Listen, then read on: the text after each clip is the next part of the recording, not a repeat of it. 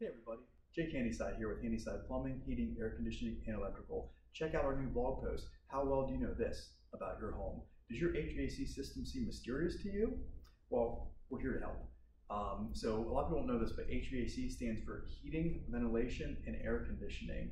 Uh, so there's three different parts, the heating side, the air conditioning side, and the ventilation side. So let's start with the heating side. The heating side, there's a unit usually in your basement or your attic, and that unit draws air in from your house, it's unconditioned, filters that air, it runs it over a hot coil that's either heated by oil, gas, or electric typically, typically and uh, then it distributes that heated air throughout your home.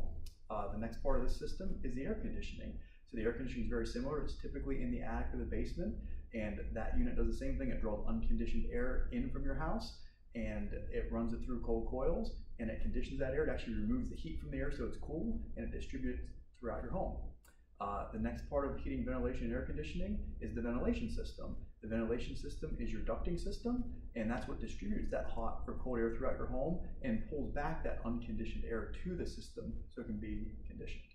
Um, so those are the three parts of heating, ventilation, air conditioning. Not all homes have all three parts. Some might only have one or two parts. Um, but when all three are together, it creates a full system that will make your home comfortable all year round. So what do you need to know about your system? Check out our new blog post this week at handysideinc.com.